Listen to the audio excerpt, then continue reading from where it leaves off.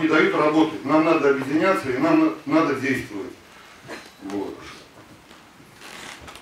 На днях нас вызывала также Кандаурова Надежда Алексеевна по одному. Почему-то вот вопрос такой, почему нас по одному вызывают? Почему нас не соберут, допустим, у кого вот заканчиваются договора аренды? Почему со всеми с нами не пообщаются? А общаются по одному, предлагают, понимаете, гладят нас. Где я ей сказал? Сказал, что мы готовим народ, чтобы выйти на улицу, где будет митинг. То, что мы 31 октября собираем предпринимателей города. На что незамедлительно было совещание у губернатора. Правда, я туда не попал, несколько человек мы опоздали, нас предупредили всего за 20, за 20 минут. За 20 минут мы не успели. Лично я с дальнего засвияжа не успел доехать до центра, переодеться и приехать к губернатору.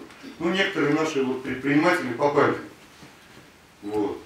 Где губернатор нам пообещал, что наложит мораторий, срочно создается рабочая группа.